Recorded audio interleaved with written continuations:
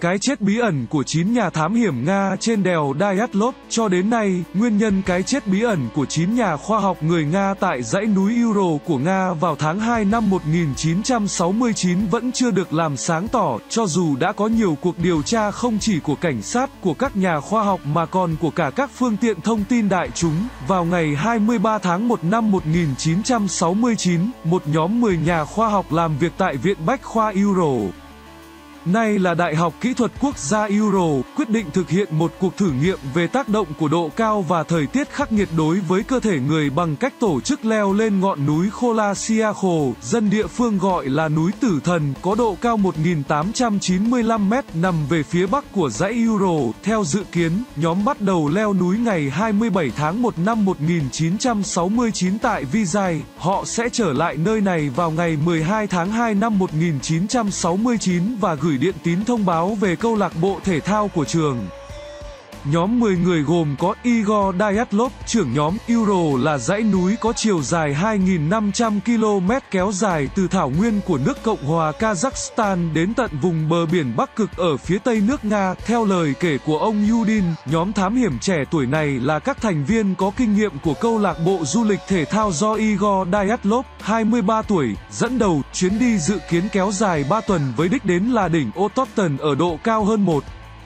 100 mét trên mực nước biển, lộ trình nguy hiểm nhất vào thời gian đó của năm. Tuy nhiên, 9 người trong số họ đã không bao giờ trở lại. Người ta tìm thấy 5 thi thể đông cứng trong một căn lều rách nát và 4 thi thể khác ở cách đó khá xa. Tất cả đều mang thương tích nghiêm trọng như vỡ đầu, mất lưỡi, mà không rõ lý do. Yuri Yudin, thành viên thứ 10 may mắn sống sót nhờ bỏ dở chuyến đi do bị ốm. Luôn dàn vặt với câu hỏi, chuyện gì đã thực sự xảy ra với các bạn tôi vào cái đêm định mệnh đó, dường như cả nhóm đột ngột rời khỏi lều lúc nửa đêm mà không mang giày trượt thực phẩm hay quần áo ấm, nơi họ dừng chân có nhiệt độ xuống tới âm 30 độ C, khởi hành, khởi hành từ thành phố Vrdlov vào ngày 23 tháng 1 năm 1969, nhóm thám hiểm do kỹ sư Igor Dyatlov phụ trách đến thành phố Ipdo vào ngày 25 tháng 1.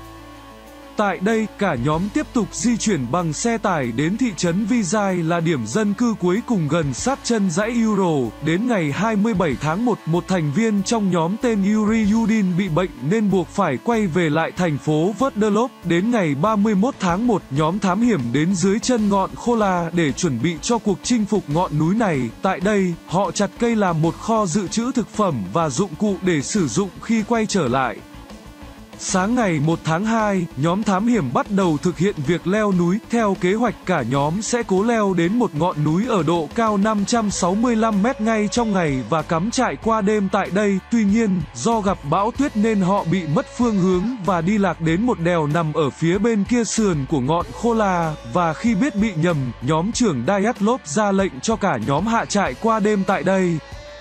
Theo dự kiến, nhóm thám hiểm chỉ mất có 3 ngày để leo lên đỉnh ngọn Khola. Sau khi thực hiện một số thử nghiệm, họ sẽ xuống núi về lại thị trấn Vizai. Tại đây, Dyatlov sẽ có nhiệm vụ đánh điện báo tin cho Viện Bách Khoa Euro biết tình hình, nhưng mãi đến ngày 15 tháng 2 vẫn không thấy Dyatlov liên lạc nên Viện Bách Khoa Euro quyết định cử một nhóm cứu hộ đến nơi để xem xét tình hình. Đến ngày 20 tháng 2 thì cả cảnh sát và quân đội cũng được huy động tham gia vào việc tìm kiếm, phát hiện của nhóm cứu hộ. Đến ngày 26 tháng 2, những người cứu hộ đã đến được địa điểm hạ trại của nhóm thám hiểm và phát hiện các căn lều đã bị phá nát nhưng không tìm thấy bất cứ một ai trừ dấu vết của chân người. Lần theo những dấu vết này, những người cứu hộ tìm thấy cách nơi hạ trại gần 500 mét thi thể của hai nạn nhân. Trên người chỉ mặc quần áo lót, danh tính hai nạn nhân được xác định là Georgy Krivonisenko và Yuri Dorosenko. Mở rộng cuộc tìm kiếm, những người cứu hộ tìm thấy thêm 3 thi thể khác nằm cách nơi hạ trại 300, 400 và 630 mét. Danh tính ba nạn nhân được xác định là nhóm trưởng Igor Dyatlov, Zinaida Kolmogorova và Rustem Slobodin. Phải mất thêm 2 tháng nữa thì xác của bốn nhà thám hiểm còn lại mới được tìm thấy vào ngày 4 tháng 5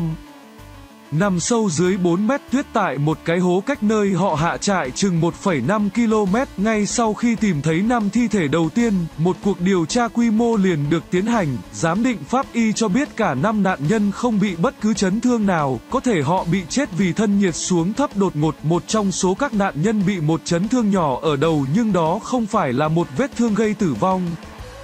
Tuy nhiên giám định pháp y của bốn thi thể được tìm thấy vào tháng 5 lại làm thay đổi sự nhìn nhận của các nhà điều tra. Ngoài ra, một ghi nhận được báo cáo của một nhóm leo núi cách đó 60 km cho biết họ thấy xuất hiện một vật lạ chói lòa ánh sáng màu cam trên ngọn khô la vào đúng thời điểm xảy ra tai nạn của 9 nhà thám hiểm người Nga. Phát hiện của nhóm cứu hộ, ba trong số 4 nạn nhân bị nhiều chấn thương nặng.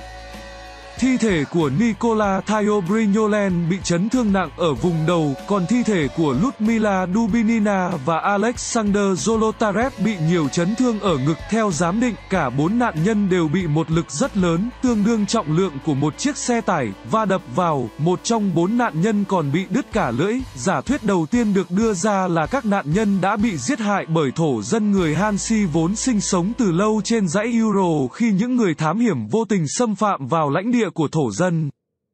Tuy nhiên, giả thuyết này sau đó bị bác bỏ vì không tìm thấy bất cứ dấu vết chứng minh thổ dân Hansi đã có mặt tại hiện trường. Đến tháng 8 năm 1969, các cuộc điều tra của cảnh sát đã dẫn chứng những điểm sau, có tất cả 6 thành viên của nhóm thám hiểm chết do thân nhiệt giảm đột ngột, 3 thành viên còn lại chết do bị chấn thương nặng, không tìm thấy bất cứ chứng cứ nào chứng minh có người lạ xuất hiện tại hiện trường hay khu vực xung quanh.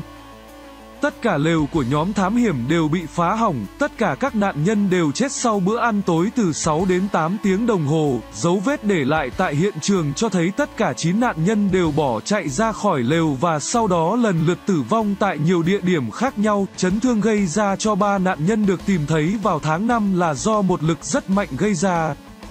Áo quần của các nạn nhân đều bị nhiễm phóng xạ, từ các dẫn chứng này mà cảnh sát đưa ra kết luận nguyên nhân gây tử vong cho nhóm thám hiểm là do một lực rất mạnh khó hiểu gây ra. Kết luận này tuy là cơ sở để cảnh sát khép lại cuộc điều tra nhưng các nhà khoa học vẫn không bỏ cuộc. Các phương tiện truyền thông cũng tiến hành các cuộc điều tra độc lập. Mặc dù vậy, tất cả các hồ sơ liên quan đến cái chết bí ẩn của 9 nhà khoa học Nga vẫn không được công khai.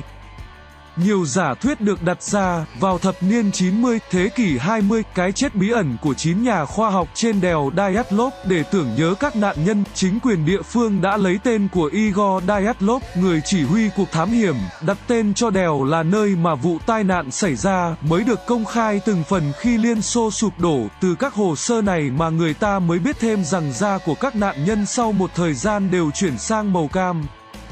còn tóc thì chuyển thành màu xám, riêng mức độ nhiễm xạ tại đèo Dyatlov tại thời điểm xảy ra vụ tai nạn là rất cao nhưng các nhà điều tra không biết nguồn phóng xạ phát ra từ đâu. Ngoài ra, một ghi nhận được báo cáo của một nhóm leo núi cách đó 60 km cho biết họ thấy xuất hiện một vật lạ chói lòa ánh sáng màu cam trên ngọn khô la vào đúng thời điểm xảy ra tai nạn của 9 nhà thám hiểm người Nga.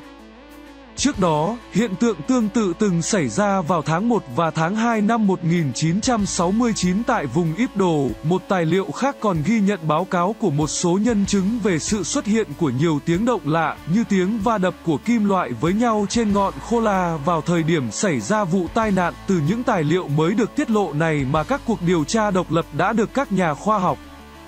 các phương tiện thông tin tiến hành từ năm 2000 đến nay, với nhiều giả thuyết được đưa ra như đây có thể là một vụ tai nạn chết người do tuyết lở hay có thể đây là một cuộc tấn công của một vật thể bay lạ đến từ bên ngoài trái đất cho đến nay, vụ tai nạn này vẫn còn là một bí ẩn của lịch sử. Nhà báo Anatoly Gasin, một trong những người đầu tiên nghiên cứu hồ sơ gốc,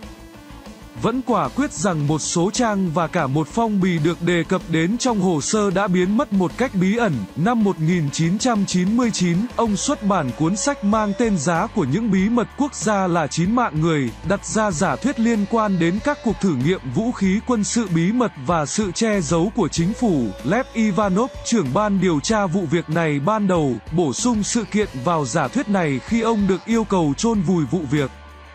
Dù Ivanov vẫn tiếp tục tin rằng đĩa bay và người ngoài hành tinh đứng sau toàn bộ vụ việc năm 2000, một hãng truyền hình trong khu vực thực hiện bộ phim tài liệu về vụ này và nhà văn Nga Anna Matveyeva đã xuất bản một tác phẩm bán hư cấu về các sự kiện trong cuốn sách đèo Dyatlov của bà từ năm 2000 đến nay các nhà khoa học và các phương tiện thông tin đã đặt ra rất nhiều giả thuyết như một vụ tai nạn chết người do tuyết lở.